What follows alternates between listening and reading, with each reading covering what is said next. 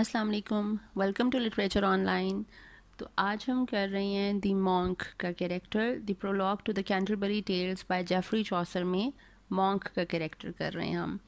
तो स्टार्ट करते हैं. A monk there was a fair for the mastery कि यहाँ पर इन सारे जो ज़ायरीन थे, जितने भी सारे लोग कैंटरबरी की तरफ़ सफ़र कर रहे थे उनमें एक मॉन्क भी शामिल था. Monk fair for the mastery कि वो ऐसा मॉन्क था, उसकी पर्सनैलिटी कुछ इस किस्म की थी कि वो खानका के बाकी तमाम लोगों पर फजीलत हासिल थी उसको। मतलब ये जो तीस लोगों का ग्रुप बना था इन तीस लोगों में ये सबसे ज़्यादा अजीम फील होता था ठीक है? इसकी पर्सनैलिटी और इसके कपड़े कुछ इस किस्म के थे कि इज़्ज़त का हामिल था।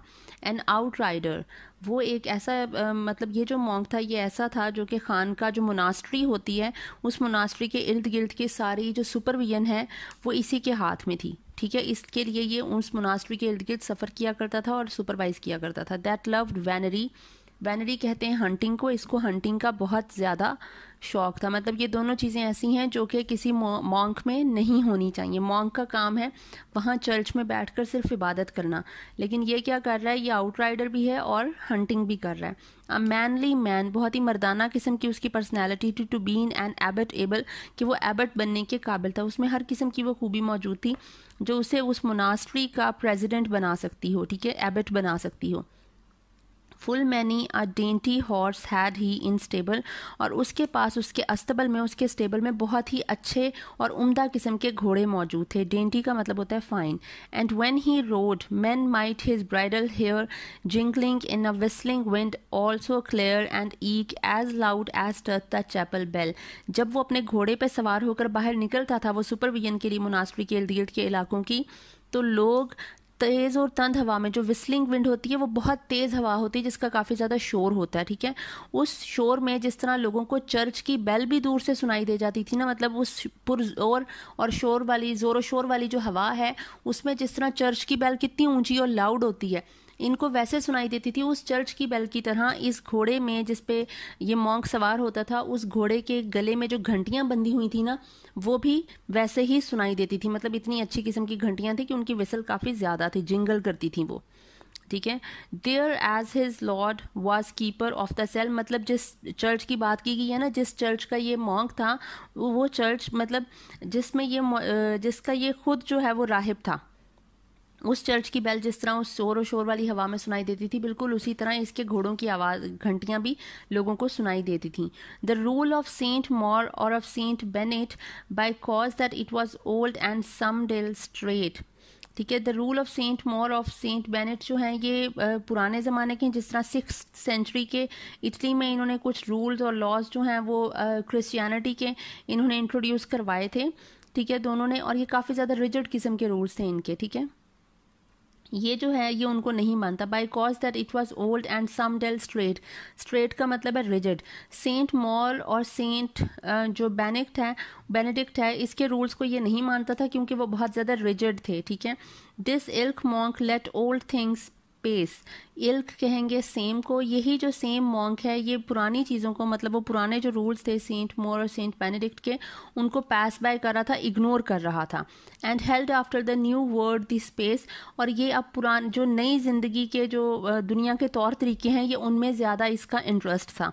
He yaf not of that text a pulled hand that said that hunters ban not only uh, ban, uh, ban not holy men. वो कह रहा है ऐसा कोई भी कुरानी आयात आसमानी किताबों में जो भी आयते हैं जहाँ पे लिखा गया था कि हंटर्स जो हैं वो हॉली मैन नहीं हो सकते कि शिकारी जो हैं वो अच्छे लोग नहीं होते उनकी तरफ़ वो बिल्कुल भी तवज्जो नहीं देता था। यैफ का मतलब होता है गेव कि वो नहीं देता था तवज्जो। पुल्ड हैन का मतलब है कि ज़रा सी भी जो मुर्गी के जब पर उतार दिए जाते हैं तो उसकी कोई वैल्यू नहीं रहती ठीक है? तो एक बिल्कुल वर्थलेस चीज़ थी, उसके लिए ऐसी आयतें जिनमें कहा गया था कि शिकारी अच्छे लोग नहीं होते। कहाँ ये एक मजहबी इंसान था और दूसरा ये शिकारी भी था तो ये दोनों चीज़ें मैच नहीं करती हैं पैरल नहीं चल सकती हैं। ये पूरा स्टायर है जो चौसर कर रहा है इस पर ठीक है कि मॉन्क्स इस किस्म के थे उस ज़माने में। ने that a monk when he is reckless और ना ही ऐसा मॉन्क जो कि बहुत ज़्यादा केयरलेस और रेकलेस हो जाए वो भी ये एक अच्छा आदमी नहीं हो सकता, ठीक है? Is linked till a fish that is waterless क्योंकि ऐसा मॉन्क जो बहुत ज़्यादा रेकलेस हो जाए मतलब जिसको अपने मज़हब और अपने दीन की तरफ़ कोई तवज्जो ना रहे, वो ऐसा है जिस तरह पानी, मछली जो है वो बिना पानी के हो जाए मतलब मछली बिना पानी के मर जाएगी, उसकी जान चली जाएगी। तो ऐसा मॉन्क भी ऐसे ही है कि उसके दीन में कोई जगह नहीं है। This is to sing a monk out of his cloister और वो कह रहा है कि इसके बारे में ये कहावत है कि ऐसा मोंक जो होता है, वो ऐसे ही है जैसे अपने क्लॉइस्टर के बाहर हो जाए, ठीक है, अपने शेल के बाहर हो जाए। But think that held he not worth an oyster, and I said his opinion was good, but think text, held he not worth an oyster. वो कहता है कि वो इस तरह के जो भी टेक्स्ट थे, जो मॉन्ग के खिलाफ जाते थे, इसकी आदतों और इसकी पसंद के खिलाफ जाते थे, उस टेक्स्ट को ये ज़रा सी भी अहमियत नहीं देता था। एक ऑयस्टर जितनी भी अहमियत नहीं देता था, ठीक है? And I said his opinion was good अब चौसर इस पर मजीद वो स्टायर कर रहा है। आयरॉनिक है कि मैं मैं समझता हूँ कि ये वो ठीक कर रहा था। वो कह रहा है कि जो मॉन्ग का ओपिनियन है वो सही था। What should he study and make himself wood वो क्यों पढ़ता और अपने आप को पागल कर देता? Upon a book in cloister always to pour कि वो एक किताब के अंदर अपना सर दे के अपने आप को पागल क्यों कर दे? भला ये अब उस पर टॉन्ट कर रहा है, ठीक है? और swinken with his hands and labour या फिर वो अपने हाथों से क्यों मेहनत मुशक्क़त करे? एज ऑस्टिन बेट ये सेंट ऑस्टिन जो है सेंट ऑगस्टिन जो है उसने ये कहा था कि लोगों को एक मॉन्क को एक जो मजहबी कारिंदे होते हैं फ्रायर होते हैं प्रीस्ट होते हैं मॉन्क होते हैं, इनको लोगों की खिदमत करनी चाहिए। ना सिर्फ़ ये कि उनको प्रीच करो, ठीक है ओरली प्रीच करो, बल्कि अपने हाथों से भी उनके लिए मेहनत करो, उनकी खिदमत करो। तो ये कहता है कि ये वाला मॉन्क ये सही कह रहा है, इसको किताबों में अपना सर डाल के, पढ़ के, पागल होने की क्या ज़रूरत है? या फिर ये सेंट ऑगस्टन ने जिस तरह कहा कि मॉन्क को खिदमत करनी चाहिए लोगों की तो ये अपने हाथों से किसी की क्यों मेहनत और मुशक्कत करे किसी के लिए? ठीक है? Let how shall the word be serve कि सेंट ऑगस्टन ने जिस तरह कहा था कि दुनिया की खिदमत हमें किस तरह से करनी चाहिए उसने कुछ बताया था ठीक है? Let Austin have his swink to him reserve Austin ने वो कहता है जो भी कहा था वो उसको अपने तक ही महदूद रखने दो बाकी दुनिया पे इसको अप्लाई ना, ना करो। ये चौसर ये अब टॉन्ट कर रहा है ठीक है? थोड़ा सा रियलिस्टिक अप्रोच भी है इसकी, कि वो उसने अपने वक्त में कह दिया, वो उसने कह दिया, लेकिन हर चीज़ हर बंदे पे एप्लीकेबल नहीं होती। हर इंसान की अपनी ज़िंदगी है और वो जो चाहता है वो करता है। There for he was a prickasour right अच्छा ये प्रिकॉसर इधर लिखा हुआ है प्रिकर को, कि वो जो है प्रिकर वो लोग थे जो लोग अपने घोड़ों को तेज़ दौड़ाने के लिए ना अपने जूतों में इस तरह के जूते पहनते थे कि उनके जूतों की साइड्स पे छोटे छोटे कील से लगे हुए होते थे शार्प एजेस वाले जो है ना वो थोड़े नेल्स टाइप से बाहर आए हुए होते थे। अगर आपने पुरानी मूवीज़ देखी हैं तो उसमें जो है, वो इस तरह के जूते ये लोग दिखाते हैं। तो जिन्होंने अपने तेज़ घोड़े दौड़ाने होते थे तो वैसे जूते पहनते थे और वो जूते वो जिस तरह वो ज़ोर से उसके पेट पे मारते थे और वो घोड़ा तेज़ दौड़ने लग जाता था। तो ये जो मॉन्क है, ये भी वही था प्रिकर था। ये भी इस तरह के जूते पहनता था और घोड़ों को प्रिक किया करता था। Greyhound he had as swift as fowl in flight उसके पास शिकारी कुत्ते भी थे। ये शिकारी कुत्ते इतनी तेज़ दौड़ते थे कि जिस तरह परिंदे अपनी उड़ान भरते हैं, उतनी तेज़ ये शिकारी कुत्ते दौड़ते थे। मतलब अब देखें, शिकार करना भी एक मॉन्ग की खसूसियत नहीं है। Of pricking and of hunting for the hare was all his lust वो कह रहा है, इसकी ज़िंदगी में जो सबसे ज़्यादा जो पसंदीदा चीज़ें थी इस मॉन्ग की, वो थी, एक थी प्रिकिंग कि अपने घोड़ों को तेज़ दौड़ाना प्रिक कर करके, और दूसरा खरगोश का शिकार करना। For no cost would he spare क्योंकि इन दोनों चीज़ों पर उसका कोई भी खर्चा नहीं होता था। दोनों काम फ्री में हो जाते थे। मतलब ये लोगों के पैसे खाता था, लेकिन अपना पैसा खर्च नहीं करता था, ठीक है? I see his sleeves purfiled at the hand with grise see का मतलब होता है सौ, कि मैंने देखा है स्लीव्स बाजू परफाइल्ड जिन पे जो है वो फ्रिल लगी हुई थी एट दी हॉर्न का मतलब है एजिस पे। मतलब इसके बाजुओं के जो बॉर्डर हैं, जो लाइक कलाई पे जो कपड़ा आता था, उस कलाई पे ग्रेज कहते हैं ग्रे कलर की स्क्वेरल्स को। जो गुलहरी की जो फर होती है, वो इसके बाजुओं के एंड पे लगी हुई थी, जो इसने गाउन पहना हुआ था। And that the finest of a land और गुलहरी की ग्रे गुलहरी की ग्रे स्क्वेरल की ये जो फर है, ये उस मुल्क की सबसे ज़्यादा नफीस, तरीन चीज़ समझी जाती थी, ठीक है? मतलब ये आप देख लें कि उसके शौक देखें, कितने अमीराना है। कहने को वो एक मॉन्क है और शौक इतने इतने अमीरों वाले। शाही शौक, ठीक है? And for to fasten his hood under his chin he had of gold wrought a full curious pin और अपनी जो हुड है, उसको अपनी चिन के नीचे बांधने के लिए, ठीक है? जिस तरह बच्चों की बर्थडे कैप्स होती है ना, उनकी चिन पे नीचे हम वो कर देते हैं, बाँध देते हैं। तो इसकी जो हुड थी, उसको चिन के नीचे बांधने के लिए, उसने, उसके पास एक प्योर गोल्ड की पिन उसने यूज़ कर करता था उसके लिए, ठीक है? हुड को बांधने के लिए, चिन के नीचे।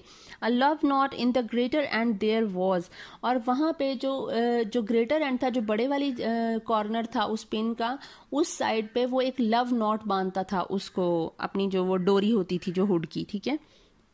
His head was bald that shone as any glass मतलब ये गंजा था, इसके सर पे बाल नहीं थे। ठीक है? And shone as any glass और उसका सर किसी शीशे की ग्लास की तरह चमकता था। ठीक है? And elk eke his face as he had been anoint और उसका जिस जिस तरह उसका सर चमकता था ना, उसी तरह इसका फेस भी चमकदार था। विन डीजल का होता है ना विन डीजल का सर भी बड़ा चमक रहा होता है जेसन स्टैथम का भी, है ना? तो बिल्कुल इसका भी वैसे ही था। As he had been anoint ऐसे लगता था जैसे उसने मुँह पे कोई क्रीम लगाई हुई है, इतना चमकता था उसका face he was a lord full fat and in good point वो एक ऐसा लॉर्ड था जो कि मोटा ताज़ा था और बड़ी अच्छी कंडीशन में था। मतलब इसकी जो हालत है वो काफ़ी अच्छी थी, तंदुरुस्त था। He was his eyes steep and rolling in his head that steamed as a furnace of a lead इसकी आँखें इसके सर में गोल गोल घूमती थी। मतलब अब इसके जो आँखें हैं, वो मुँह में जब फेस पे जब घूम रही हैं लाइक उसको इतना चमकीला सा फेस दिखाया हुआ है कि उसकी आँखें ऐसे लगती थी जिस तरह किसी भट्टी में, किसी फर्नेस में आग दहकती है ना, उस तरह उसकी आँखें जो हैं वो दहकती थी। मतलब इसकी आँखें येलो ऑरेंज टाइप की होंगी, है ना? His boots supple his horse is great in great state उसके जो बूट्स थे, वो बड़े सॉफ्ट थे मतलब अब ये भी शाही शौक हो गए, ठीक है? सॉफ्ट सॉफ्ट शूज़ और उसके जो घोड़े थे, वो बड़ी अच्छी हालत में थे. Now certainly he was a fair prelate ये भी उसने तंज किया है आयरनी स्टायर जो चौसल ने किया है, कि उसके यकीनन ये एक फेयर प्रिलेट था मतलब एक अच्छा मुआज़ आदमी था. फेयर प्रिलेट था प्रीस्ट था, ठीक है? पादरी था मतलब मुआज़ पादरी लगता है चर्च का। पूरी जो हालत उसने ऊपर तंज कर करके बताई है, वो यही बताई है कि ये अच्छा इंसान नहीं है, दूसरों के पैसे खा रहा है। ठीक है, करप्ट है ये। लेकिन वो अब उस पर तंज करे now certainly he was a fair prelate कि वो एक अच्छा मुआज़ पादरी था। He was not pale as a forpined ghost वो किसी कहता है, किसी भूत की तरह ना, जिसको खाने को कुछ नहीं मिलता, उसकी तरह पीले रंग की उसकी रंगत नहीं थी। A fat swan loved he best for any roast उसे भुने हुए गोश्त में स्वान का गोश्त सबसे ज़्यादा पसंद था, राजहंस का गोश्त। ठीक है, शौक देखें इसके। His palfrey was as brown as is a berry palfrey कहते हैं घोड़े को, जो छोटे कद के घोड़े होते हैं, जिन पे दूर दराज सफ़र करते हैं लाइक राइडिंग के लिए जो यूज़ होते हैं। तो इसका जो घोड़ा था, वो बहुत ही ज़्यादा ब्राउन कलर का था। ठीक है मतलब अच्छी नस्ल का ब्राउन कलर का घोड़ा इसके पास मौजूद था। तो ये हमारा मॉन्क होता है। नेक्स्ट हम करेंगे friar thank you so much